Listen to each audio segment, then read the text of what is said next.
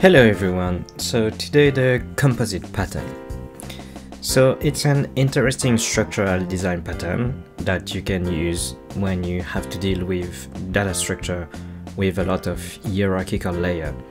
So hierarchical layer as in you have um, in an army you have a general giving orders to a bunch of um, I don't know corporals and then each corporal has uh, their own squads of soldiers and so on and so on. So this pattern allows you to propagate updates or just create this kind of tree or retrieving information for this kind of data structure. So in software engineering, you will often see uh, tree structure manipulation and all the algorithms going with it.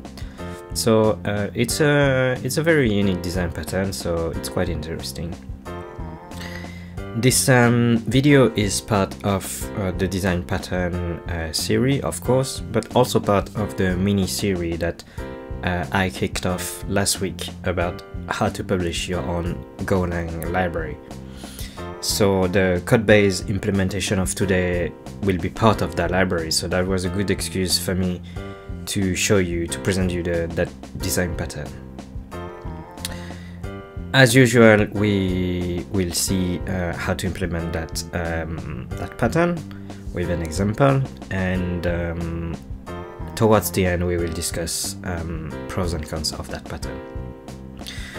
So um, if you enjoy the video, like and subscribe so then I understand that you like this kind of content and if you have any questions, comments, um, let me know in the YouTube comments as usual. Happy video!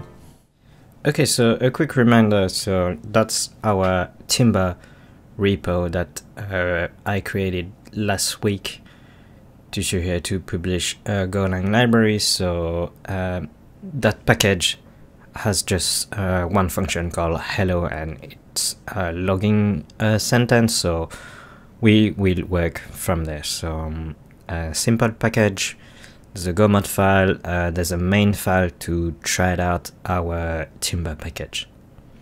So what we want to do today is a nested tree. So it looks like that. So you have like a, a folder which can contain other folders or just um, files and the subfolders can also contain folders again or just files. So um, now you understand why I called that package Timber. It's just a pan with tree data structure.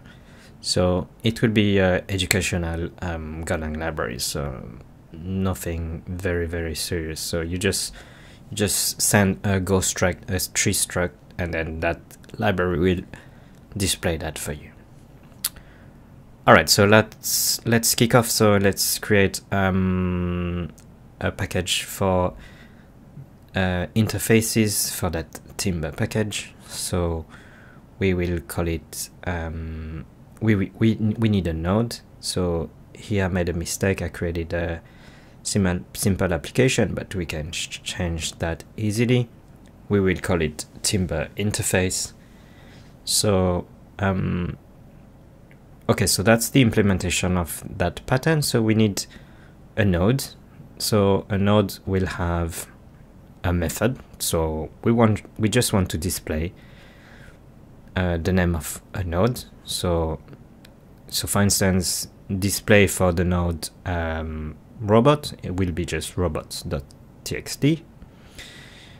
Then so that's the um, the very bottom element. So the top element is a, a node tree. So a node tree can contain um, nodes. So components nodes. So for instance, a public folder has three items and it has a name as well. So here is how you compose uh, interfaces. So our node tree will include the node interface. So what it means is that node tree has the method uh, display in its interface as well. So here you can see I changed really cheekily in line 9. So instead of having a slice of nodes, we will have a slice of itself. So it's a recursive declaration. So a node tree has a method called called components and it's returning a slice of itself. Which makes sense because you can have um, folder containing folders containing folders and so on and so on. Okay so very too simple interface so very easy in go. Um, I want to try that out so let's create um, some implementation for it. So we have we can declare leaf for a node, so the very primitive um, component. So here, if you're familiar with my videos, I just used the, the ID shortcut to implement that interface. So if our leaf has a field called label, our display method will just return that label so we can simply try that out. So if I create a leaf with a label with L0 and then I invoke display so and assign that to a variable called D and we, we, we will print D.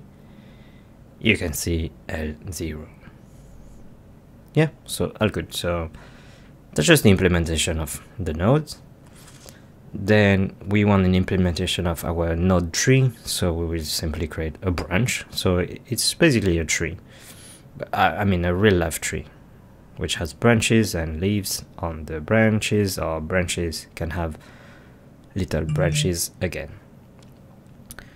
Okay so um, so you can see here it has two methods. So you can see that our interface composition worked as intended so um, yeah so you can see that node tree is also including node the node interface. So same as a leaf so we can call it uh, we can um, you can see our populated uh, label field and we will just return that for display. Okay so then for the components um, interface we will just create another field called components which is a slice of um, we can try with branch and I'll show you why it doesn't work. So here it's simply returning well the the, the components. So the branch components and you can see that my ID is complaining because um, component is, is asking for that interface. So then uh, we change that back so that's not a big deal. Um, now if we create a branch so um, let's create another leaf L1 now branch 0 so auto completion from your IDE can call it branch 0 and the component is just a slice of timber interface node.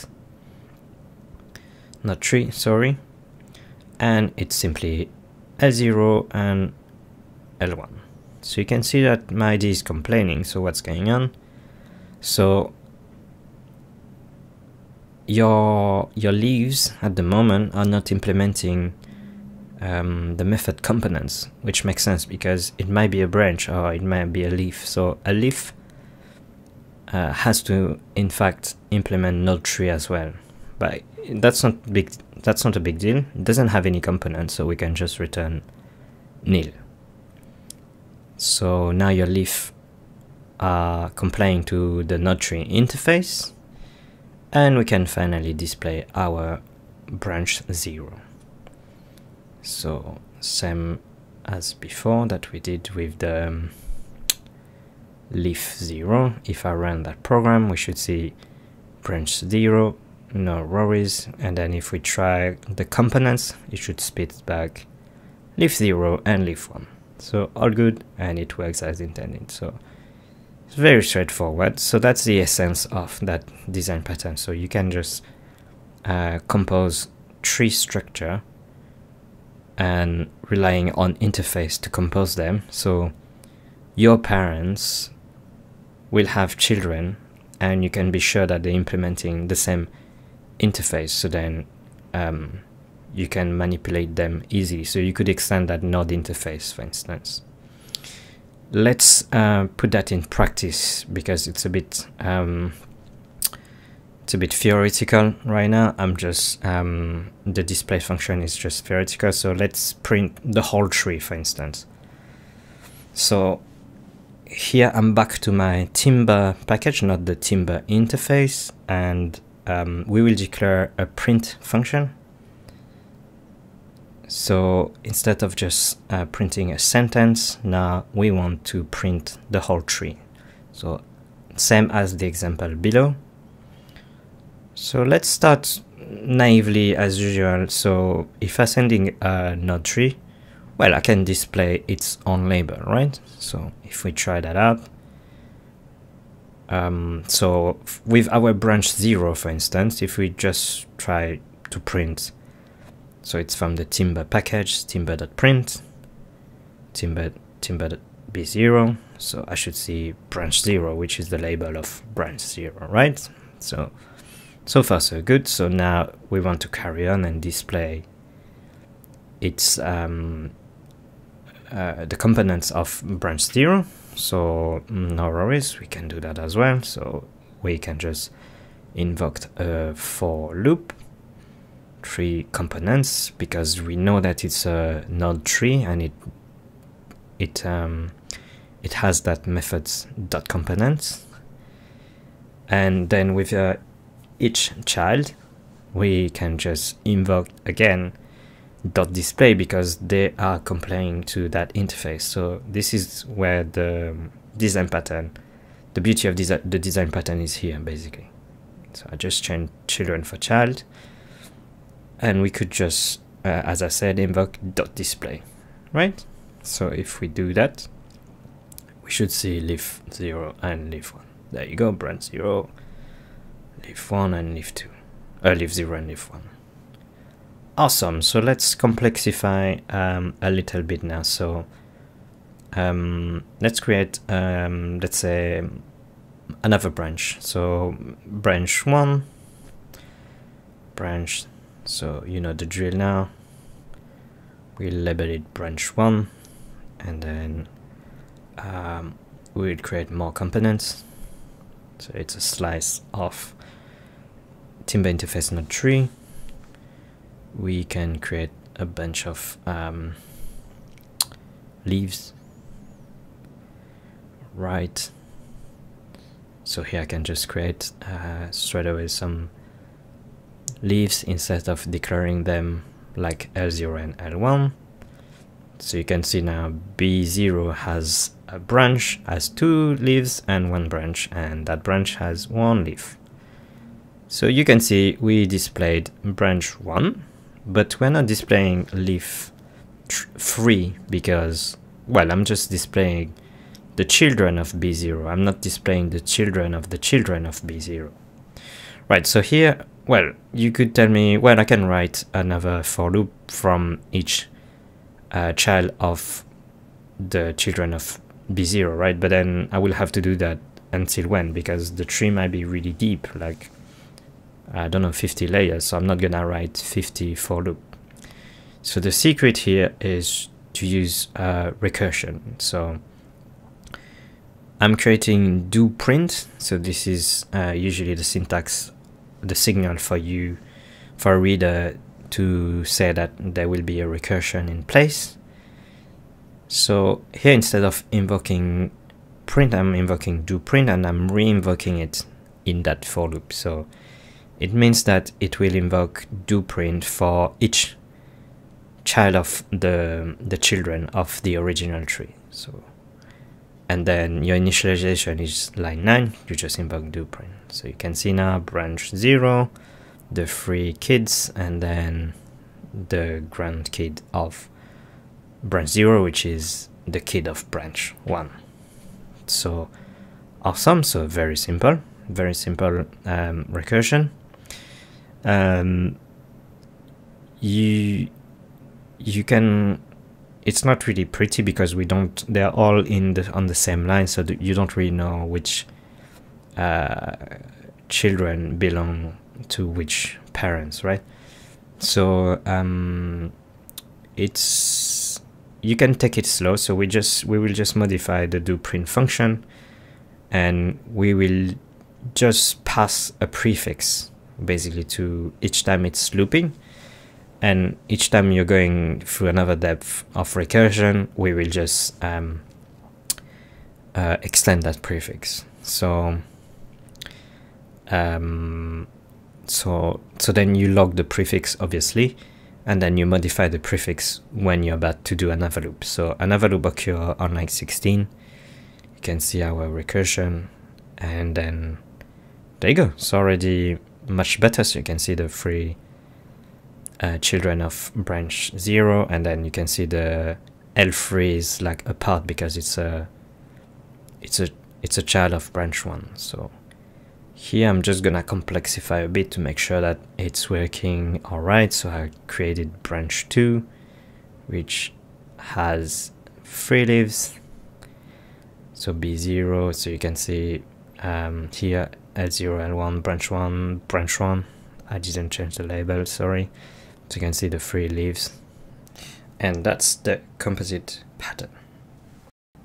Alright so let's discuss this pattern a little bit. So starting with the pros so you can see that this pattern allows you to uh, manipulate very easily a complex data structure.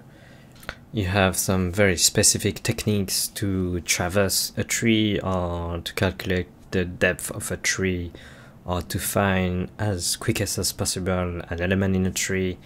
So they, they can be intimidating, but you can see that um, this algorithm gives you frame a framework to work with them. Second thing, uh, it's quite easy to extend because obviously we're uh, using interfaces. So as long as you comply to those interfaces, you can have different type of leaf, um, leaf, sorry, and um, it's easy to manipulate them or updating them or uh, building a strong robust uh, model basically.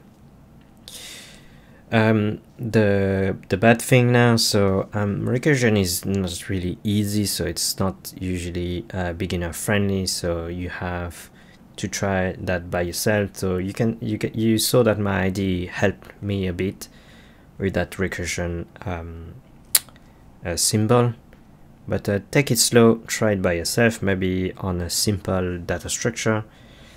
Um, maybe I will do a simple video to help you on that. Um, yeah leave a comment if you want one of that. And then uh, lastly um, that pattern is only tailored for a very specific unique data structure as I said the tree. So it's not applicable to any other data structure. So that's um, it, it's good to know for interview, but um, you won't see it much in your life of software engineer. Hope you enjoyed the video, hope you learned something today. Um, if you did, like and subscribe, and if you didn't, just leave me a comment, that's fine. Um, for a reminder, that video is part of that mini-series building a, a, your own Golang library and publish it. So we will come back next week to uh, carry on on that project. So for now, happy coding everyone.